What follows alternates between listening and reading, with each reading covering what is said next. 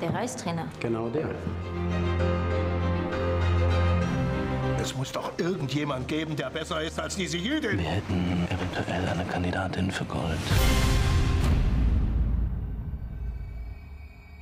Weiß außer den Ärzten jemand Bescheid? Wenn Sie einverstanden sind, biete ich Ihnen meine Hilfe an. Allerdings müssten Sie dafür Ihrem Vaterland einen Dienst erweisen. Ich bin übrigens Gretel. Glaubst du, ich weiß nicht, dass du Jüdin bist? Es geht hier um Sport und nicht um Politik, meine Herren. Es geht darum, das eine mit dem anderen zu verbinden. Perfekt, Gretel. Sehr gut, Gretel. Weiter so, Gretel. Du hast ein selten blödes Schandmaul. An deiner Stelle wäre ich ein bisschen vorsichtiger.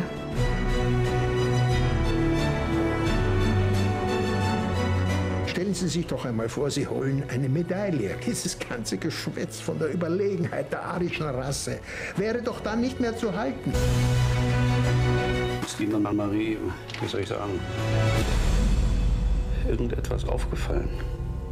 Nein. Ich wollte es dir früher sagen. Wer weiß noch Bescheid? Warum brechen Sie mir nicht gleich die Beine? Sie wollen mich doch gar nicht in Berlin. Du wirst dich jetzt doch wohl nicht unterkriegen lassen, hä? Also, zeig sie.